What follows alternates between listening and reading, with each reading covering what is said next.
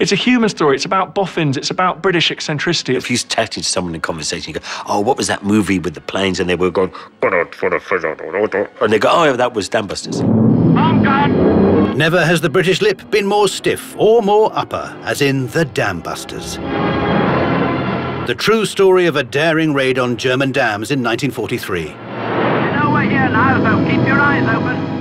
It's deeper than patriotism.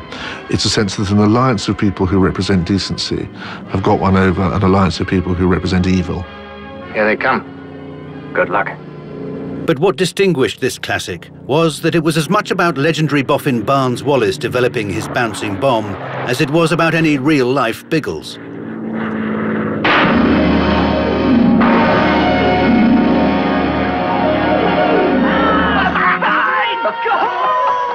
It's about technology. The Brits might not have had the vast German army and the the successes it enjoyed across Europe, but the Brits did have that funny, eccentric ingenuity.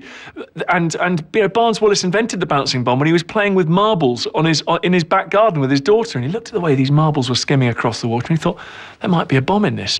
Three, two, one, fire. Fire, that's good.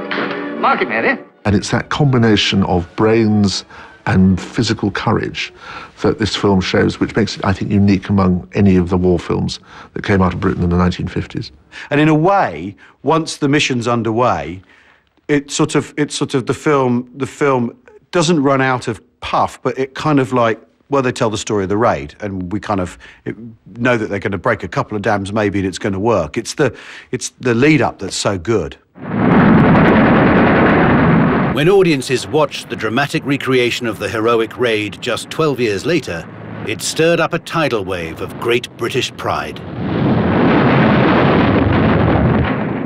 It's gone! Look! My God!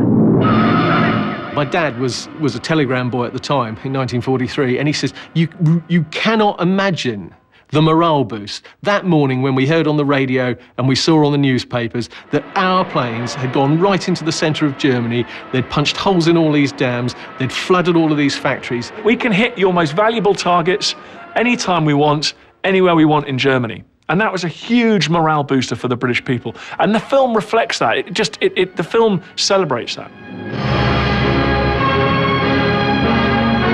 But bouncing bomb boffins and busted dams aside, the film most significantly provided us with an unofficial national anthem.